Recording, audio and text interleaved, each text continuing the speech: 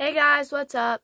As some of you may know, that Dana Terrace is leaving Disney for good now, and it is official. As you can see right here, she tweeted that the final episode of season 3 is done and completed. I cannot wait to see it, and it is going to be released April 8th. Because Dana Terrace is leaving Disney for good, this means that a season 4 of The Owl House is more or less likely now.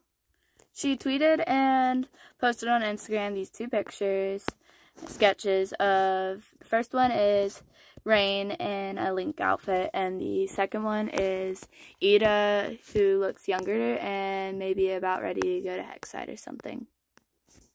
This is really sad because Dana Terrace was a great creator and The Owl House was a great series, and I really, really hope that they will end up making a season 4 with a new creator, but we'll have to see.